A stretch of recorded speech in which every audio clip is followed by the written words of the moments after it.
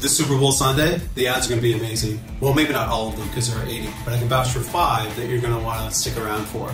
And the last one's the most amazing. The first one is DoorDash. They came up with this incredible idea that they're going to give away actually all the products that are advertised in the Super Bowl during Sunday. In addition, the Clydesdales are back with Budweiser. Isn't that amazing? You remember the four iconic ads that they ran in the 90s? Well, they're going to do a 60 second spot this coming Sunday. Thirdly, the Beckhams, following up their incredible Netflix series, are going to be in the limelight again with Jennifer Aniston for a commercial for Uber Eats. And then there's this amazing trio on the beach and in the water, including Dan Marino, Jason Sudeikis, and Messi, no less, who's doing some incredible dribbling, including around a dog. The last one I think is going to be held as, as one of the top commercials uh, of the day, which is for Doritos. It's an ad uh, that features these action-packed grandmas who keep our attention for the full 60 seconds, and Jenna Ortega is also in that. So that's going to be a ton of fun. So if you like this type of content, follow me and or share it through the share buttons below to tell other people. It's going to encourage me to create a lot more of it. Thank you so much.